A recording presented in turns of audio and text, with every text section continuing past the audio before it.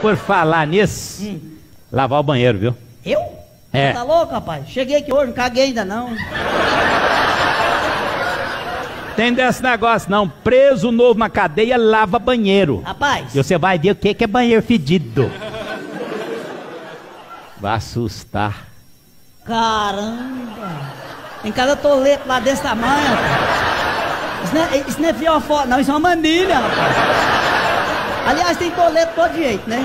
Tem? E o tolete submarino, Submarino? é, você dá descarga, ele chup, você fala, foi, e ele volta. Tem um bailarino, Bailarina? você dá descarga, ele dá três passinhos, vai, aí ele volta. É. Agora, o pior de todos é o lagartixa.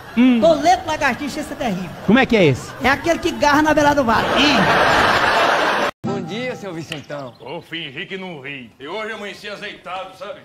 Eu até jurei que a primeira pessoa que eu visse, eu enfiava ali a faca no apendicite. Mas hoje não é dia de ter raiva, não. Pois pra mim todo dia é dia de ter raiva. Eu quero ter raiva e você não se meta. Mas logo hoje, no aniversário de Dona Rosinha, Oi, e hoje é aniversário dela? eu acho melhor se você amansar. Pra quê?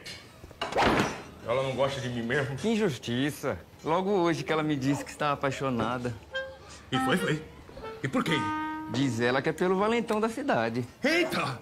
Só pode ser por mim, né? E logo hoje que o senhor acordou tão mal-humorado. Passou, João. Você me faz uma fineza. Uma fineza é. Você entrega esse par de brinco pra ela.